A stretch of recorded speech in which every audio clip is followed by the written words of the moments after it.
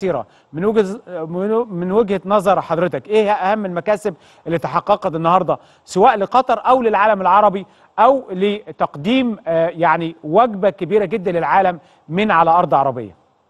بلا شك يا أستاذ أحمد إحنا بنقول إن المونديال ده مش مونديال قطر ولا من ولا كأس العالم لا ده مونديال العرب. كلنا ده كأس العالم دي بنعتبرها بتاعتنا وبتقام على ملاعبنا وعلى أرضنا.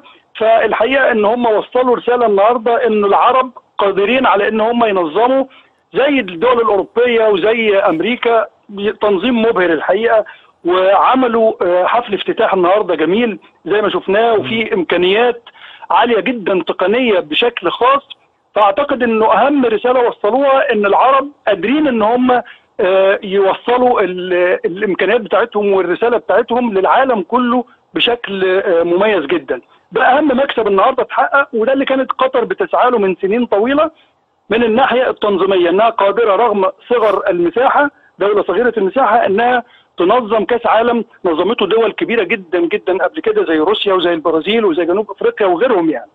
أعتقد ده كان أهم مكسب النهارده اتحقق طيب أستاذ علاء آه، إيه الفرص اللي قدام قطر دلوقتي؟ الإكوادور خلاص عندها ثلاث نقاط بكرة مباراة السنغال هولندا الاثنين يعني من ال- ال- الفرق المرشحة طبعا للدور التالي. إيه اللي قدام قطر عشان تحقق معجزة؟ هل ممكن تحقق معجزة ولا لا في الماتشين اللي جايين قدام السنغال وهولندا؟